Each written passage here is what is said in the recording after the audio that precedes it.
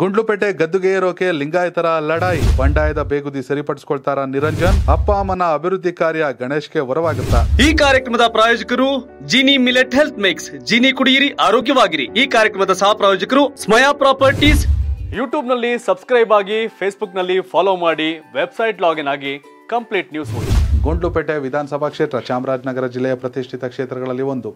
ಬಿಜೆಪಿಯ ಹಾಲಿ ಶಾಸಕ ನಿರಂಜನ್ ಕುಮಾರ್ ಬಿಜೆಪಿಯಿಂದ ಅಭ್ಯರ್ಥಿಯನ್ನು ನಾಮಪತ್ರವನ್ನು ಸಲ್ಲಿಸಿದ್ದಾರೆ. ಕಾಂಗ್ರೆಸ್ಸಿಂದ ಮಾದೇವ ಪ್ರಸಾದ್ ಹಾಗೆ ಗೀತಾ ಮಾದೇವ ಪ್ರಸಾದ್ ಅವರ ಪುತ್ರ ಗಣೇಶ್ ಪ್ರಸಾದ್ ಒಂದು ನಾಮಿನೇಷನ್ ಅನ್ನು ಫೈಲ್ ಮಾಡಿದ್ದಾರೆ.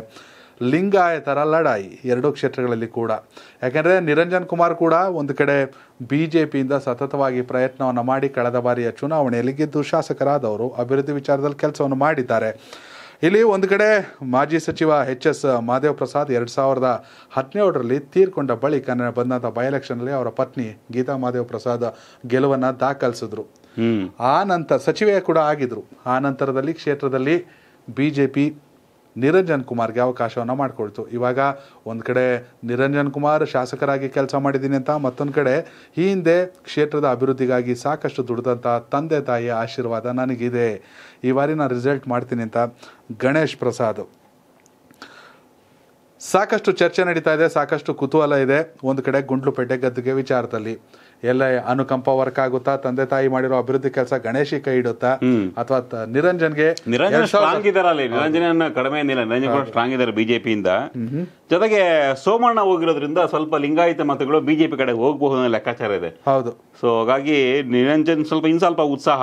ಓ ಸೋಮಣ್ಣ ಬಂದವ್ರೆ ನಂಗೆ ಸಪೋರ್ಟ್ ಮಾಡ್ತಾರೆ ಒಂದ್ ಕಡೆ ಶ್ರೀನಿವಾಸ್ ಪ್ರಸಾದ್ ಎಂ ಪಿ ಆಗಿರೋದು ಅಲ್ಲದೆ ಎ ಪಿ ಎಂ ಸಿ ಮತ್ತೆ ಪಟ್ಟಣ ಪಂಚಾಯತಿಯಲ್ಲಿ ಬಿಜೆಪಿ ಬಹುತೇಕ ಗೆಲು ಅಂದ್ರೆ ಬಹುಮತ ಸ್ಥಾಪಿಸಿರೋದು ಇವೆಲ್ಲವೂ ಕೂಡ ನಿರಂಜನಿಕ್ ಪ್ಲಸ್ ಆಗುತ್ತೆ ಅನ್ನೋ ಲೆಕ್ಕಾಚಾರ. ಅಂದ್ರೆ ಎರಡ್ ಸಾವಿರದ ಹದಿನೆಂಟರಲ್ಲಿ ತಂದೆ ತೀರ್ಕೊಂಡ ತೀರ್ಕೊಂಡ್ಮೇಲೆ ಕೂಡ ತಾಯಿಗೆ ನಾ ಗೆಲ್ಸ್ತಂತ ಜನ ನನ್ನ ಕೈ ಬಿಡಲ್ಲ. ಕೋವಿಡ್ ಟೈಮಲ್ಲಿ ನಾನು ತುಂಬಾ ಕೆಲಸವನ್ನು ಮಾಡಿದ್ದೀನಿ. ಹೀಗಾಗಿ ನನಗೆ ಗೆಲ್ಲಿಸ್ತಾರೆ ಅಂತ ಗಣೇಶ್ ಇವೆಲ್ಲ ಪ್ಲಸ್ ಆಗುತ್ತೆ ಅನ್ನೋ ಲೆಕ್ಕಾಚಾರ. ಬಟ್ ನೋಡ್ಬೇಕು. ನೋಡೋಣ.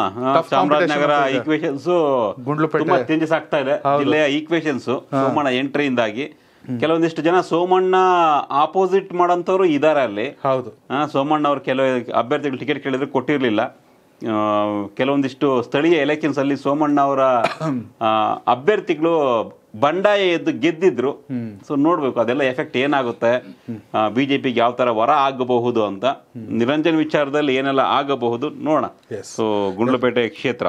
ಎಸ್ ವೀಕ್ಷಕರೇ ಗುಂಡ್ಲುಪೇಟೆ ವಿಧಾನಸಭಾ ಕ್ಷೇತ್ರದ ಮತದಾರ ನೀವಾಗಿದ್ದಲ್ಲಿ ನಿಮ್ಮ ಪ್ರಕಾರ ನಿಮ್ಮ ಕ್ಷೇತ್ರದ ಶಾಸಕರು ಯಾರಾಗಬೇಕಂತ ತಿಳಿಸಿ ಹಾಗೆ ಈ ವಿಡಿಯೋನ ನೋಡ್ತಿರುವ ಇನ್ನೂರ ಇಪ್ಪತ್ನಾಲ್ಕು ವಿಧಾನಸಭೆ ಕ್ಷೇತ್ರದಲ್ಲಿ ಯಾರೇ ಆಗಿದ್ರು ಕೂಡ ನಿಮ್ಮ ಕ್ಷೇತ್ರ ಯಾವುದು? ನಿಮ್ಮ ಕ್ಷೇತ್ರದ ಎಂ ಎಲ್ ಎ ಯಾರಾಗಬೇಕಂತ ತಿಳಿಸಿ ಹಾಗೆ ಚುನಾವಣೆಯಲ್ಲಿ ಯಾವ ಪಕ್ಷ ಅಧಿಕಾರಕ್ಕೆ ಬರಬೇಕು ಯಾರು ಸಿ ಎಂ ಆಗಬೇಕಂತ ಕಾಮೆಂಟ್ ಮಾಡಿ. ಪ್ರತಿ ವಿಡಿಯೋ ಕೊನೆಯಲ್ಲಿ ನಮ್ಮದೊಂದು ಮನವಿ ಇರುತ್ತೆ.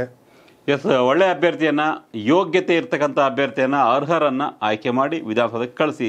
ಜಾತಿ ಧರ್ಮ ಕುಲ ಮತ ಯಾವುದನ್ನು ನೋಡದೆ ಪಕ್ಷವನ್ನು ಕೂಡ ಬರೀ ಪಕ್ಷಕ್ಕೆ ಅಂಟ್ಕೊಳ್ಳದೆ. ಅಭ್ಯರ್ಥಿ ಒಳ್ಳೆಯವರ ಚೆನ್ನಾಗಿದಾರ ಅಂದ್ರೆ ಚೆನ್ನಾಗಿದಾರ ಅಂದ್ರೆ ಒಳ್ಳೆ ಕೆಲಸ ಮಾಡ್ತಾರಾ ಇಲ್ವಾ? ಭ್ರಷ್ಟನಲ್ವಾ ಲಂಚಕೋರ್ನಲ್ವಾ ನಿಮ್ ಜೊತೆ ಕೆಲಸ ಮಾಡ್ತಾರಾ? ಆ ಒಂದು ವ್ಯಕ್ತಿತ್ವವನ್ನ ನೋಡಿ ಮತವನ್ನ ಚಲಾವಣೆ ಮಾಡಿ ಮತ ಹಾಕಿ ಮತ ಮಾರಾಟ ಮಾಡ್ಕೊಳ್ಬಿಡಿ. ಇದು ಕರ್ನಾಟಕ ಟಿವಿಯ ಕಳಕಳಿ. ಧನ್ಯವಾದಗಳು. ಕರ್ನಾಟಕ ಟಿವಿ. ಕನ್ನಡಿಗರ ಧ್ವನಿ.